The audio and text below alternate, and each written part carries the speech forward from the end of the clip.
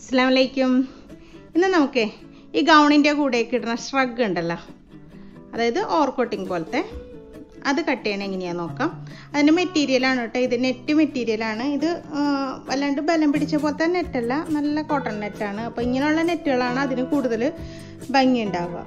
അപ്പോൾ ഇത് സാധാരണ ചുരിദാർ ഇടുന്ന പോലെയല്ല കുറച്ച് വ്യത്യാസമുണ്ട് നമ്മൾ കട്ട് ചെയ്യാൻ ഇടണത് അതെന്തായാലും ഞാൻ ഇട്ടിട്ട് കാണിച്ചു തരാം കേട്ടോ. അതാ നീളത്തിൽ മടക്കിയിട്ടേക്കാണ് അതിന്റെ ഓപ്പൺ ഭാഗം കണ്ട? ഓപ്പൺ ഭാഗമാണ് എന്റെ നേരെയാക്കി വെച്ചേക്കുന്നത് അതായത് സ്ട്രഗ് എല്ലാം മിക്കവാറും എല്ലാം ഫ്രണ്ട് ഓപ്പൺ ആയിരിക്കും. അപ്പോൾ ഫ്രണ്ട് ഓപ്പൺ ആയിട്ടുള്ള സ്ട്രഗ് കട്ട് ചെയ്യുമ്പോൾ ഈ നമ്മുടെ ഓപ്പൺ ഭാഗം നമ്മുടെ നേരേക്കാക്കി ഒപ്പം വെക്കുക. അപ്പോൾ ഈ നെറ്റ് വെട്ടുമ്പോഴൊക്കെ ഇത്തിരി സൂക്ഷിച്ച് വെട്ടണം. നിങ്ങൾക്ക് വെട്ടാനൊക്കെ ഇത്തിരി ബുദ്ധിമുട്ടുണ്ട് എന്നുണ്ടെങ്കിൽ ഒരു പേപ്പറിലോ അല്ലെങ്കിൽ ലൈനിങ് പീസിലോ കട്ട് ചെയ്തിട്ട് അത് ഇതിന്റെ മുകളിലേക്ക് വെച്ചിട്ട് കട്ട് ചെയ്താലും മതി. അല്ലെങ്കിൽ നമ്മുടെ ഒരു ചുരിദാർ ഇതിന്റെ മുകളിലേക്ക് എടുത്ത് വെച്ചിട്ട് വരക്കാൻ ഇത്തിരി പാടാണ്. അതുകൊണ്ടാണ് കേട്ടോ ഞാൻ പറഞ്ഞത്. അതിന്റെ ലെങ്ത് എത്രയുണ്ട് നോക്കാം. നമുക്കൊരു അമ്പത് ഇഞ്ച് ലെങ്ത് കൊടുക്കാം. അപ്പോൾ ഒരു ഒരു ഒന്നര ഇഞ്ച് തയ്യൽ തുമ്പ് കൂടുതലിട്ടിട്ട് നമുക്ക് ലെങ്ത്ത് മാർക്ക് ചെയ്യാം കേട്ടോ. എത്ര ലെങ്ത്ത് വേണം എന്നുള്ളത് അപ്പോൾ നിങ്ങൾക്ക് നിങ്ങളുടെ അളവിൽ ലെങ്ത്ത് എടുക്കുക കേട്ടോ ഞാൻ പറഞ്ഞില്ലേ മഞ്ഞ ചോക്ക് വെച്ച് വരച്ചിട്ടും കാണാത്തതാണ്ടോ അതാ ഞാൻ പറഞ്ഞത്. കുറച്ചൊന്ന് പ്രസ് ചെയ്ത് ഞാൻ വരക്കാം കേട്ടോ നിങ്ങളും കൂടെ കാണണമല്ലോ വെച്ചിട്ട്. എന്നിട്ട് അത്രയൊക്കെ വരണുള്ളൂ. പിങ്ക് ആയിരുന്നെങ്കിൽ പിന്നെയും കണ്ടേനെ അല്ലേ? ആ പോട്ടെ. എന്നിട്ട് പിന്നെ ഷോൾഡർ അടയാളപ്പെടുത്തുക നിങ്ങളുടെ ഷോൾഡർ എത്രയാണോ അത് അടയാളപ്പെടുത്തുക ഒരു അര ഇഞ്ച് ലെസ് ചെയ്തിട്ട് പതിനേഴര ആണെങ്കിൽ ഒരു അര ഇഞ്ച് ലെസ് ചെയ്തിട്ട് അങ്ങനെ അടയാളപ്പെടുത്തുക കേട്ടോ കൈക്കുഴി നമ്മൾ എത്രയാണോ ഷോൾഡർ എടുക്കുന്നത് അത് തന്നെ നമുക്ക് മാർക്ക് ചെയ്ത് കൊടുക്കാം.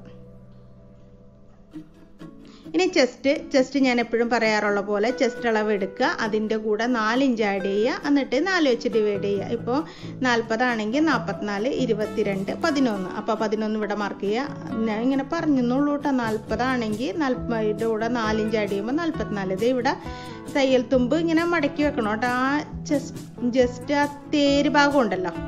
തേര് ഭാഗം ഇതാക്കിയിട്ട് വേണം നമുക്ക് അളവെടുക്കാനായിട്ട്. അല്ലെങ്കിൽ അത് അരയിഞ്ച് അതും കൂടെ ആഡ് ചെയ്തിട്ട് വേണം അത് മടക്കി പോണതാണ്. അപ്പോൾ അതനുസരിച്ച് നമുക്ക് അല്ലെങ്കിൽ കൂടെ ഒരു മാർക്ക് ഇട്ട് കൊടുക്കാം. എന്നിട്ട് അവിടെ നിന്ന് നമുക്ക് ജസ്റ്റ് അടയാളപ്പെടുത്താം കണ്ട? റേഞ്ച് വേണ്ട മാർക്ക് ചെയ്തിട്ടുണ്ട്. അതിങ്ങനെ മടങ്ങി പോണതാണ്. അതുകൊണ്ടാണ് ഞാനത് അങ്ങനെ പറഞ്ഞത് കേട്ടോ. അപ്പോൾ ചെസ്റ്റ് എത്രയാണെന്ന് വെക്കുക. എന്നിട്ട് അതിനേക്കാൾ നാലിഞ്ച് ആഡ് ചെയ്യുക. എന്നിട്ട് നാല് വെച്ച് ഡിവൈഡ് ചെയ്യുക. പിന്നെ ഒന്നര ഇഞ്ച് തയ്യൽ കൂടെ മാർക്ക് ചെയ്ത് കൊടുക്കുക. ഇനി നമുക്ക് ഹാഫ് ലെങ്ത് അടയാളപ്പെടുത്തണം. എത്രയാണോ നമ്മുടെ ഹാഫ് ലെങ്ത് എന്ന് ഉള്ളത് നോക്കുക. അതിന്റെ കൂടെ അര ആഡ് ചെയ്തിട്ട് ഹാഫ് ലെങ്ത് നമുക്കവിടെ മാർക്ക് ചെയ്ത് കൊടുക്കാം.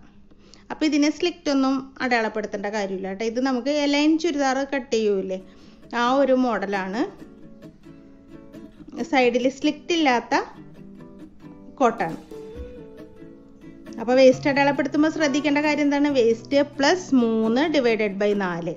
വേസ്റ്റിന്റെ കൂടെ മൂന്ന് ആഡ് ചെയ്തിട്ട് അവിടെ തയ്യൽത്തുമ്പോൾ അരയിഞ്ച് നോക്കിക്കൊള്ളണം കേട്ടോ അല്ലെങ്കിൽ ഉണ്ടല്ലോ ആകെ കൊള്ളാവേ അപ്പോൾ അര അത് വിട്ട് തന്നെ നമ്മൾ അളവെടുക്കുക വേസ്റ്റിന്റെ കൂടെ മൂന്നും ചാടി ചെയ്യുക. എന്നിട്ട് നാല് വെച്ച് ഡിവൈഡ് ചെയ്യുക കേട്ടോ.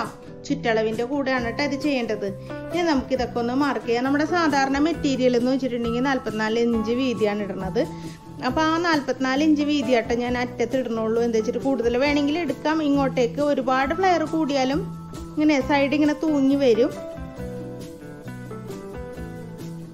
അതില്ലാതിരിക്കാനായിട്ട് നാൽപ്പത്തിനാല് ഇഞ്ച് നോർമൽ അത് മതിയാവും.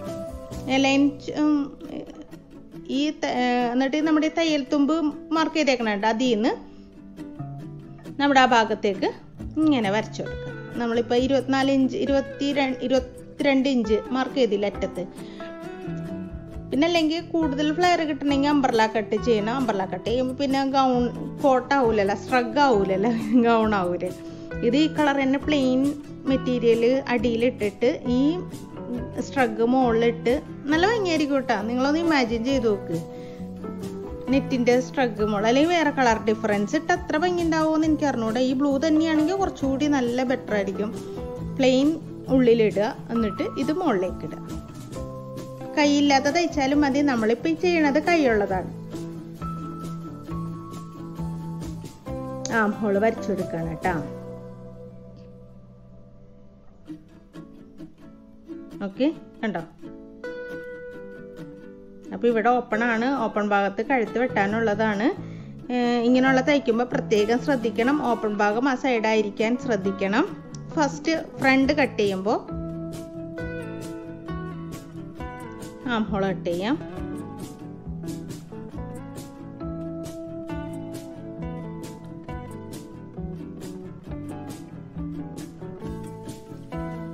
അപ്പൊ ഈ സൈഡിൽ നമുക്ക് കൈയൊക്കെ എടുക്കാമല്ലോ ഇപ്പുറത്തെ സൈഡിൽ നിന്ന്.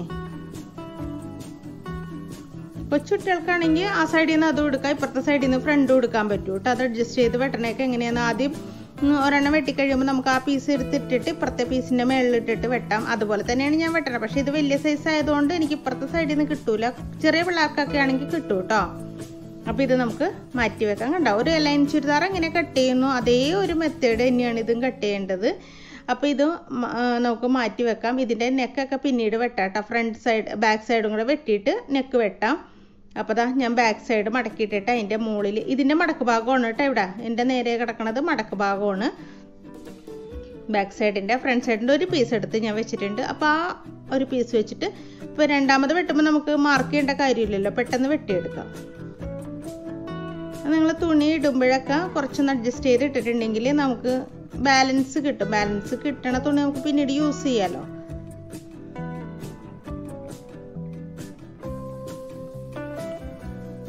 ഗൗണിന്റെ കൂടെ ഇടാനൊക്കെ ചുരിദാറിന്റെ കൂടെ ഇടാനും നല്ലതാട്ടോ. ഈ പെൻസിൽ ബോട്ടം ഇടണം. എന്നിട്ട് ചുരിദാർ ഇടണം. അതായത് മുട്ടിന് താഴെയുള്ള ചുരിദാർ. ഒരുപാട് ഇറക്കാൻ പാടില്ല. എന്നിട്ട് അതിന്റെ മുകളിൽ ഇത് ഇട്ടിട്ടുണ്ടെങ്കിൽ കുറച്ചുകൂടി ഒരു എലഗൻ ലുക്ക് വരും. എന്ന് വെച്ചാൽ നമ്മൾ പാർട്ടിക്കൊക്കെ പോകുമ്പോഴേ കുറച്ച് വെറൈറ്റി ആയിട്ട് ഇരിക്കണം എന്ന് ആഗ്രഹിക്കുന്നവരൊക്കെ ഇതുപോലെയൊക്കെ ചെയ്താൽ നമുക്കത് നന്നായിട്ട് യൂസ് ചെയ്യാൻ പറ്റും കേട്ടോ എപ്പോഴും ഒരേപോലെ ഡ്രസ്സ് ഇടുന്നതിനേക്കാളും പിള്ളേർക്കൊക്കെ ആണെങ്കിലും ഈ ടീനേജേഴ്സിനാണെങ്കിലും ഇങ്ങനത്തെ ഡ്രസ്സൊക്കെ ഇട്ടാൽ നല്ല ലുക്കായിരിക്കും അപ്പോൾ ഇതിന് നമുക്ക് ബാക്ക് എഴുത്ത് കട്ട് ചെയ്യാം. ഒരു നാലര ഇഞ്ച് അകലം കൊടുക്കാം.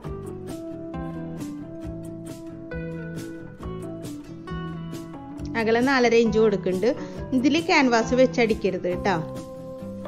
ഇറക്കം ഒരു ഒന്നോ ഒന്നര തീരെ ചെറുത് കൊടുത്താൽ മതി. ഒരു ഇഞ്ച് കൊടുത്താലും മതി കേട്ടോ. ബാക്ക് എഴുത്തിന്റെ ഇറക്കം ഒരുപാട് ഇറക്കരുത്. ഇതിൽ ഫേസിങ് വെച്ചടിക്കാനേ പാടുള്ളൂ. ക്യാൻവാസിൽ വെട്ടി അടിക്കരുത്. എന്ന് വെച്ചാൽ നെറ്റ് ആയതുകൊണ്ട് ട്രാൻസ്പെറന്റ് ആയിട്ട് ഇപ്പുറത്തേക്ക് കാണുകയും ചെയ്യും. ഒരു ഭംഗി ഉണ്ടാവില്ല കേട്ടോ. അപ്പം അതാ കണ്ട ഞാൻ കാണിച്ചു തരാം ഒരു കുഞ്ഞു എഴുത്ത് കണ്ടാ? ഇത്രയുള്ള ഒരു കുഞ്ഞു കഴുത്താണ് വെട്ടിയേക്കണത്. അപ്പം ഇനി നമുക്ക് ഫ്രണ്ടിനൊക്കെ കട്ട് ചെയ്യാം. ഇത് മാറ്റി വെക്കാം കേട്ടോ. ഫ്രണ്ടിന്റെ രണ്ട് പീസ് കൊടുത്തിട്ടിട്ടുണ്ട്. അപ്പോൾ അതേ നാലര ആ ഇഞ്ച് വിട്ടിട്ട് വേണം നമ്മൾ അളക്കാനായിട്ട് ആ നാല് നാലിഞ്ചാണ്ടാണ് ഞാൻ അളക്കണത്. ഈ അര ഇഞ്ച് നമ്മളിവിടെ വിട്ട് കളയാണ്.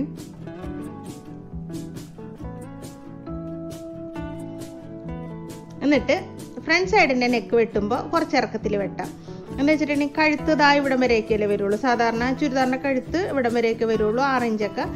അതിനേക്കാളും കുറച്ച് ഇറങ്ങി നിൽക്കണം ഫ്രണ്ട് സൈഡിലെ നെക്ക് ഇത് അപ്പർ ഇടാനുള്ളതാണല്ലോ. മുകളിലേക്ക് ഇടാനുള്ളതാകുമ്പോൾ കുറച്ച് കഴുത്ത് ഇറങ്ങി നിന്നാലാണ് ഭംഗി ഉണ്ടാവുള്ളൂ. എന്നിട്ട് അതിങ്ങനെ ചരിച്ച് വി ഷേപ്പിൽ കട്ട് ചെയ്ത് കൊടുക്കാം. അപ്പോൾ നല്ല രസമാട്ടോ ഇത് കാണാൻ. എനിക്ക് ഇങ്ങനെയൊക്കെ ഞാൻ ഞാനും ഇങ്ങനത്തെ ഒക്കെ ഡ്രസ്സൊക്കെ ഞാനും ഇടാറുണ്ട്. ഇഷ്ടമാണ് പിന്നെ കൂടുതലും എന്റെ ആങ്ങളയുടെ കൊച്ചിനാണ് ഞാൻ ഇങ്ങനെയൊക്കെ തയ്ച്ചു ഇത് കസ്റ്റമറുടെ ആട്ടോ. ഇനി കൈക്കുഴിയും കൂടെ ഒന്ന് കുഴിച്ചു വെട്ടിയേക്കാം. അല്ലെങ്കിൽ പിന്നെ ഒപ്പിടേണ്ടി വരൂലേ? നേരത്തെ വെട്ടാഞ്ഞത് ബാക്ക് ഇത് വെച്ച് വെട്ടിയാറണമാണ് നേരത്തെ ഇതെടുത്ത് വെച്ച് കൈക്കുഴി വെട്ടാഞ്ഞ കേട്ടോ. അപ്പോൾ ഇതിങ്ങനെ ആയിട്ടുണ്ട്. ഇവിടെയൊക്കെ ഫേസിങ് ഒക്കെ വെക്കണം. കൈ സ്ലീവ്ലെസ് ആണെങ്കിൽ ഇത്രയും കട്ടിങ് ഉള്ളൂ കേട്ടോ സ്ലീവ്ലെസ് തയ്ക്കാനാണെങ്കിൽ ഇത് ഇതോടുകൂടെ കട്ടിങ് തീരെയാണ് പക്ഷേ നമുക്ക് സ്ലീവ് വേണം. അതനുസരിച്ച് ആ സൈഡിൽ നിന്ന് വെട്ടിയ പീസ് ഞാൻ എടുത്തിട്ടേക്കാണ് ഒരു ഇഞ്ച് തയ്യൽ തുമ്പ് കൊടുക്കണുള്ളൂ കേട്ടോ താഴെയൊക്കെ ഫേസിങ് വെക്കാനുള്ളതുകൊണ്ട് ഒരു ഇഞ്ച് ഞാൻ തയ്യൽ തുമ്പ് കൊടുക്കണുള്ളൂ.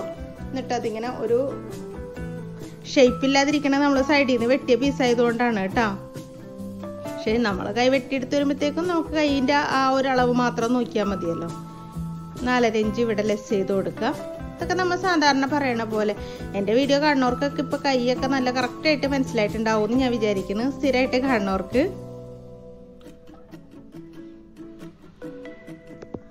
കണ്ട? ഈ ഒരു ഷേപ്പിൽ വരക്കുക ഇനി താഴത്തേക്ക് നമ്മുടെ കൈവണ്ണം വരക്കുക എന്നിട്ട് അയ്യോ അങ്ങോട്ട് മാർക്ക് ചെയ്യല ഇനി നമുക്ക് തയ്യൽ തുമ്പും കൂടെ ഒന്ന് ആഡ് ചെയ്ത് കൊടുത്തിട്ട് അങ്ങോട്ടേക്കാണ് മാർക്ക് ചെയ്യേണ്ടത്. ഒന്നര ഇഞ്ച് തയ്യൽ തുമ്പ് മാർക്ക് ചെയ്യാം. എന്നിട്ട് ഇങ്ങനെ ഒന്ന് മാർക്ക് ചെയ്ത് കൊടുക്കാം.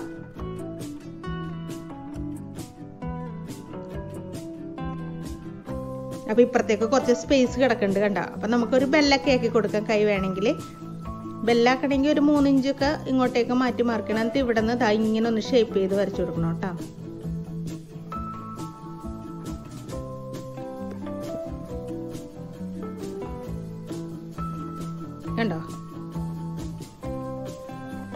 ഈ ഒരു ഷേപ്പ് ഇങ്ങനെ വരച്ചു കൊടുക്കുക ഓക്കെ എന്നിട്ട് എന്താ ഇങ്ങനെ ചരിച്ച് ഇങ്ങോട്ടേക്ക് ഈ മൂലൊക്കെ ഒരു ഒന്നര ഇഞ്ച് കയറ്റിയിട്ട് കണ്ട? ഇവിടെ ഒരു ഒന്നര ഇഞ്ച് കയറ്റിയിട്ട് ഇങ്ങനെ ഒരു വള്ളം പോലെ ഒന്ന് വരച്ചു കൊടുക്കുക ഇത് വേണമെന്നുള്ളവർ ചെയ്താൽ മതി കേട്ടോ. അല്ലെങ്കിൽ നേരെയുള്ള കൈ വെക്കുക അല്ലെങ്കിൽ പല പല മോഡൽ കൈകൾ വരുന്നതിന് അടുത്തടുത്ത കുർത്തകൾ ചെയ്യുമ്പോൾ ഞാൻ പല പല മോഡൽ കൈകൾ കാണിച്ചു തരാം. ഇനിയൊക്കെ വരുന്നതൊക്കെ കുർത്തകളാണ് കേട്ടോ കുറച്ച് ഞാൻ ചെയ്യാന്ന് വിചാരിച്ചേക്കണത്. അപ്പോൾ ഒരു സ്ട്രഗിൽ നിന്ന് തുടങ്ങാന്ന് വിചാരിച്ചാണ് സ്ട്രഗ് തുടങ്ങിയത്.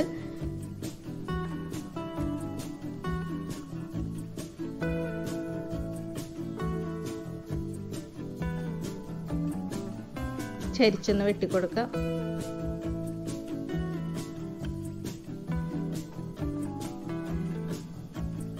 ഈ ഒരു സ്ലീവ് ഇഷ്ടമുള്ളവർ മാത്രം ഇങ്ങനെ ചെയ്താൽ മതി. തയ്ച്ചു കഴിഞ്ഞാൽ ഭംഗി ഉണ്ടാവും കേട്ടോ തയ്ക്കുമ്പോൾ ഈ ഒരു വരയുണ്ടല്ലോ.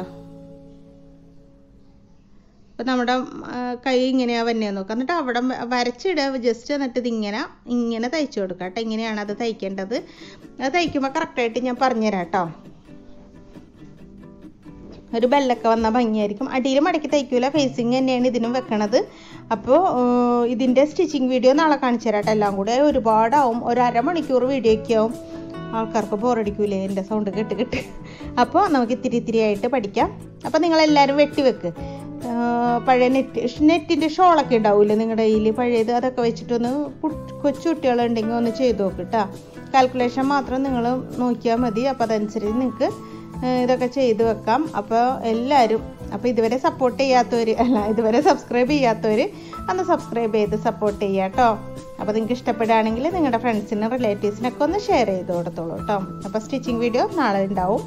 അപ്പോൾ എല്ലാവർക്കും നന്ദി നമസ്കാരം.